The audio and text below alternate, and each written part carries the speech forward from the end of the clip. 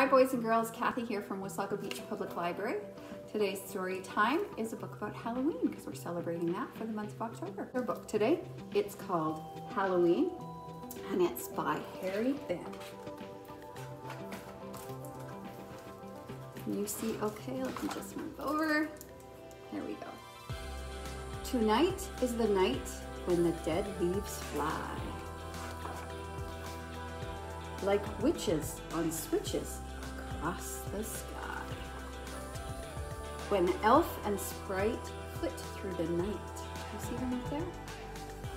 Like little fairies. On a moon machine. Like the sun, the moon is making a nice light night. Tonight is the night when leaves make a sound. You can hear leaves blowing in the wind.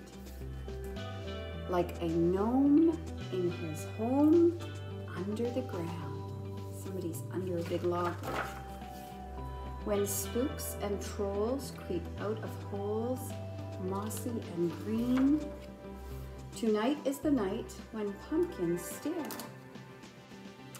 through the sheaves and the leaves everywhere. You see all those funny pumpkin faces?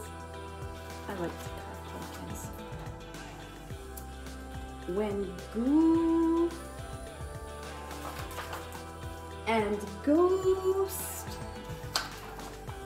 and goblin host dance round their queen.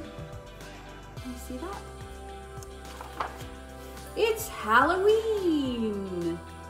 And I hope you all have a fabulous Halloween! And that's the end of our book.